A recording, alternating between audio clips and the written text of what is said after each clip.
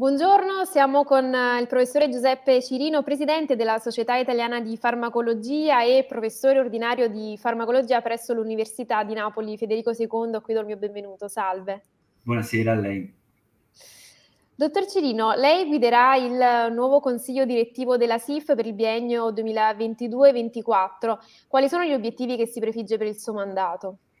Allora, diciamo che il, il mandato è in continuità con uh, chi mi ha preceduto e, e, speriamo che poi quello che faremo noi co- continuerà e avrà successo con il presidente eletto, il professor Salvatore Cuzzocrea. Uh, in realtà la struttura proprio della Società Italiana di Farmacologia che prevede un uh, presidente eletto, un presidente in carica e un past president è proprio costruita per dare continuità all'azione Cosa io voglio fare? Diciamo, uno dei miei ehm, primi obiettivi è mm, aumentare l'internazionalizzazione e la, visua- la um, visibilità della società italiana di farmacologia a livello europeo e a livello globale, diciamo, nel campo della farmacologia.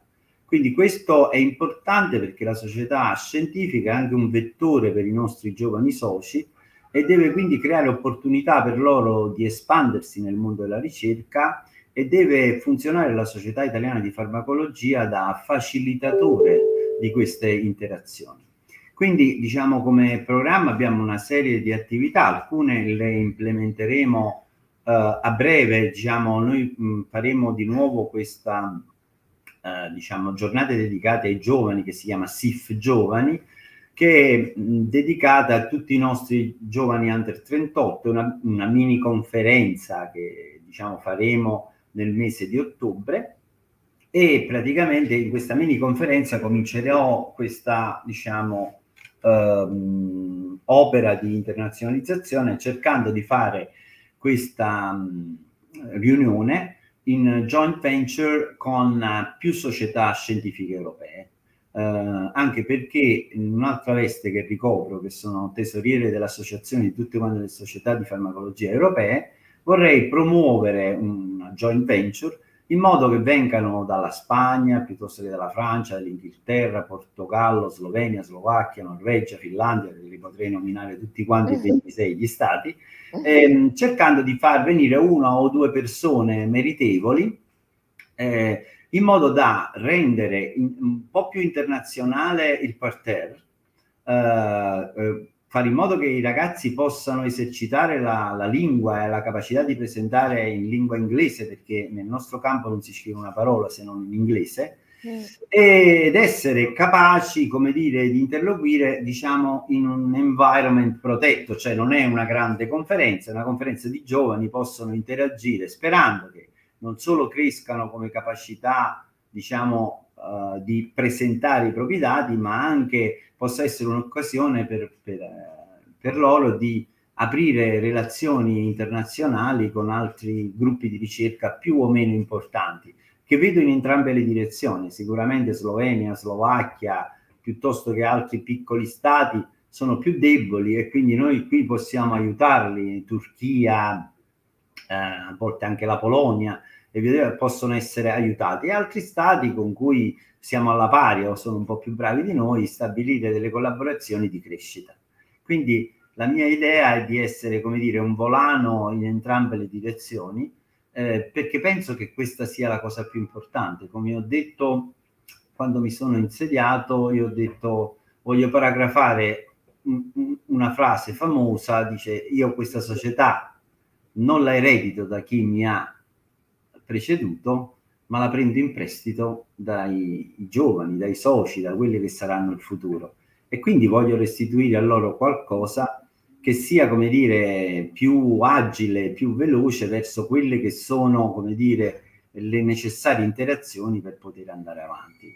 Eh, continueremo anche nelle nostre diciamo, attività che ci caratterizzano, tipo il Forum Pharma che è dedicato avere interazione con il mondo del farmaco, che è Farmindustria, AIFA, Istituto Superiore di Sanità, e anche questo diciamo è previsto nel 23, oltre a questi mono, una serie di monotematici che abbiamo, eh, che ho fatto ripartire che diciamo, danno spazio a questi che sono i gruppi di lavoro della SIF, che sarebbero delle aree tematiche, per fare un esempio, il cardiovascolare piuttosto che le neuroscienze, per creare dei piccoli simposi dove questi gruppi di interesse, eh, diciamo, a stavolta a livello nazionale si possono incontrare. Questo, diciamo, è la parte a cui io più ci tengo, che è quella dell'internazionalizzazione. Inoltre, diciamo, vorrei cercare di inserire eh, una facilitazione per i giovani eh, di fare quelli che si chiamano small exchange visit, che sono una cosa molto internazionale, però io la voglio fare in campo italiano, perché può capitare che una persona che è qui a Napoli debba usare un apparecchio che è disponibile a Milano o a Novara o a mm. Firenze facciamo un esempio, un microscopio, two photon microscopy costa una cifra astronomica, deve fare un esperimento, allora io vorrei fare, come dire, dare la possibilità a queste persone con un piccolo finanziamento che faremo a bando di potersi muovere e andare a fare questo tipo di sperimentazione con l'aiuto della SIF. Quindi rientra in questo concetto che le ho detto di um, facilitatore e promotore dell'attività scientifica. Ovviamente noi facciamo anche formazione, altro, poi come dire, diciamo, io potrei parlare molto a lungo, ma preferisco passare a lei la parola se mi vuole fare qualche domanda specifica. Sì, infatti mh, appunto anche dalle sue parole colgo anche come la farmacologia stia vivendo un periodo di grande trasformazione. E, in questo contesto le risorse provenienti dal PNRR saranno importanti per la professione nei, negli anni a venire, sia per quanto concerne ad esempio la missione 4 per l'università e la ricerca che per la missione 6.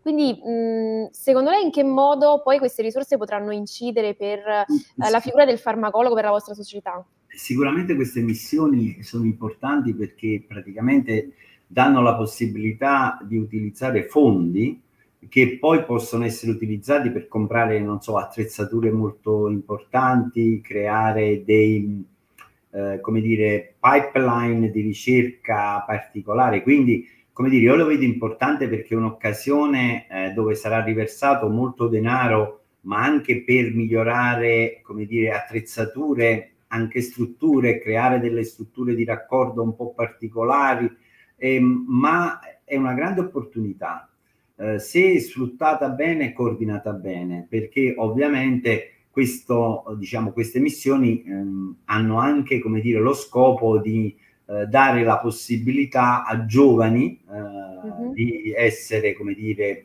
eh, non diciamo reclutati, ma essere come dire, presi in carico come ricercatori di tipo RTDA e perseguire queste attività. Quindi, diciamo, ritorniamo alla politica dei giovani eh, che eh, non è che diciamo che come dico io chi è vecchio non, non, conta diciamo le persone che sono anziane hanno grande esperienza ma forse come paragrafo una persona perdono un po' l'entusiasmo le persone che sono più giovani hanno un grande entusiasmo ma a volte mancano di esperienza mm. il grande connubio che potrebbe far camminare il mondo è quello di esperienza e entusiasmo.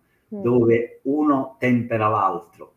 E secondo me, diciamo, mh, questo environment, eh, diciamo, che si dovrebbe creare con i giovani e, e, e tutti questi fondi e, e, queste nuove strutture, posizioni, anche denaro per fare ricerca, dovrebbe portare proprio avanti il sistema paese per quanto riguarda i farmaci, perché lei quando parla della Società Italiana di Farmacologia parla di una cosa di grande interesse, che è la necessità, il bisogno di salute, di nuovi farmaci che vanno verso la medicina personalizzata. Per esempio, grandi fondi sono stati messi per studiare eh, come modulare l'RNA messaggero, questi silencing RNA che sono farmaci nemmeno più futuribili, ce ne sono già in commercio per terapie per, come dire, per terapie malattie rare, ma mo, diciamo, adesso stanno virando, per esempio, anche come farmaci per il trattamento del colesterolo resistente a tutte le altre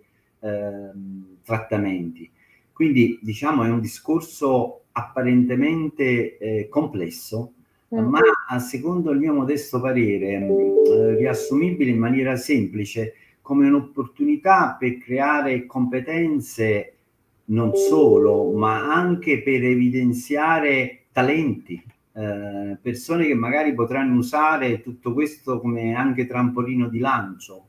Giusto. Ma grazie sempre però, se vuole la mia opinione, in maniera sommessa, eh, tenendo conto di questo connubio, diciamo, di esperienza e entusiasmo, perché chi, è, chi ha entusiasmo a volte può commettere errori e magari chi ha esperienza gli può dire guarda, ti incanalo questo tuo entusiasmo in questa maniera, ma attenzione, e gli fa notare queste cose. Allora, secondo me, aver scelto le università eh, come, diciamo, destinatari degli hub, secondo me ha voluto chi il legislatore, chi per esso che l'ha pensato, sfruttare appunto l'università perché è un posto che teoricamente non dovrebbe mai guardare indietro ma solo avanti. Mm. Perché come dico io, diciamo, se una persona si iscrive oggi a medicina e siamo nel 2022, eh, lui diventerà medico nel 2028 e mm. specialista nel 2032. Mm. Ora, l'università dovrebbe, come dire, preparare, insegnare, formare e dare informazioni in maniera prospettica, non retrospettiva. E quindi sa, tutte queste cose che avvengono, che sono cultura, e in cui deve operare anche la Società Italiana di Farmacologia, devono andare, come dire, secondo me in questa direzione. Perciò questo mio eh, particolare interesse prospettico, perché io quando parlo di giovani parlo in maniera prospettica, ma non elimino la necessità di avere persone che poi possano, come dire, aiutare. Quindi ritorniamo sempre, diciamo, a quello che poi è la mia visione che volevo, di cercherò di portare avanti, così come l'ho portata avanti miei, nel mio piccolo qui in Federico II, nei miei laboratori, la vorrei portare avanti, diciamo, con lo spirito di quella frase che le ho detto prima. La ringrazio davvero, dottor Cirino, per eh, le sue riflessioni e per la chiarezza del, dei suoi contributi. Grazie. Grazie a lei, buona serata. Buona serata.